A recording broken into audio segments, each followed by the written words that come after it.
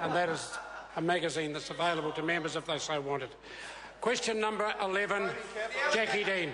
Thank you, Mr Speaker. My question is to the Minister of Corrections. and Order, asks- order, order, order.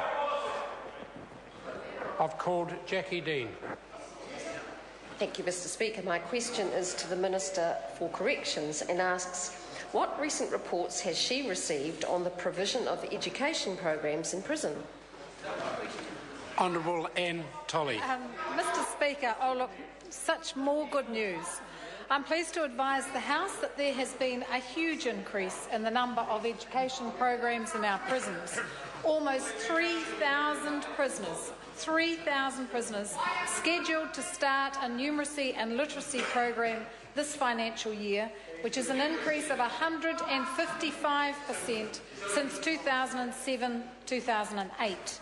There's also been a massive increase in the number of prisoners receiving qualifications, up from just 197 in 2008 9 to 1,833 in 2012 13. Mr. Speaker, increasing the number of education programs in prison is a key part of our plan to reduce reoffending by 25% by 2017 and will continue to focus in this area for that member, as well as providing more drug and alcohol rehabilitation and skills training.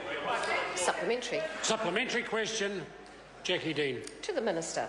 What role does education play in reducing reoffending? Honourable Anne Tolley. Uh, Mr. Speaker, lack of a basic education is a major driver of crime.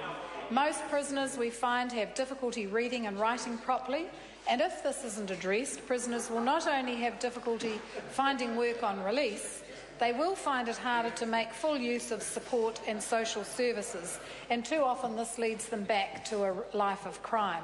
So that's why this government has introduced education screening and individual learning plans for all prisoners so that corrections can accurately assess the level of support required.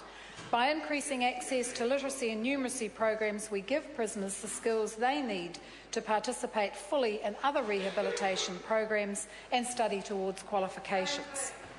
Question number 12, Grant Robertson. Thank you, Mr Speaker. My question is to the Minister of Justice.